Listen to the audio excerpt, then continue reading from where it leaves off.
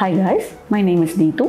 I'm from Kerala. I completed my post graduation in microbiology from the Calicut University campus, Kerala, and I, later I have worked as a microbiologist. Later I decided to change my career, so I choose networking. My brother suggested networking. He's also uh, working as a network engineer, so I, I also interested in networking. So I done my CCA security training from NH Class Bangalore. My brother is already done his training from the same institute.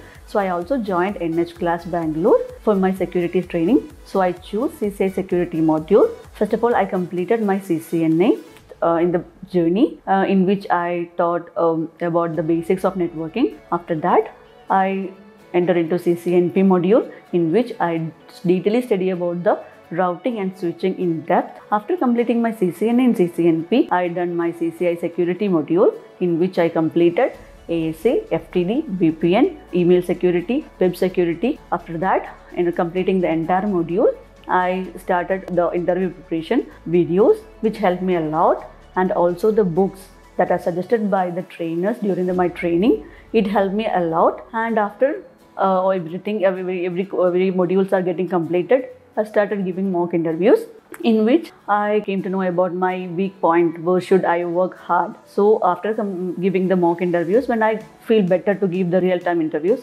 I attended a checkpoint interview and I got selected in checkpoint.